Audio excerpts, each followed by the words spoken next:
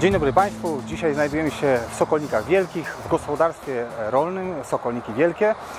gdzie w dniach 23-25 odbywają się szkolenia praktyczne w pszenicy, nakierowane głównie na prezentację i praktyczne poznanie maszyn Rosselmash i jako maszyn towarzyszących Arbos, gdzie mamy przede wszystkim możliwość pracy z ciągnikami Arbos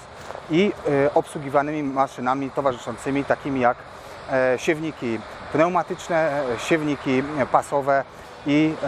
agregaty, e, gdzie tutaj na miejscu mamy możliwość przetestować maszyny, klienci mogą je zobaczyć, a mechanicy mogą odpowiedzieć na wynikające na bieżąco pytania.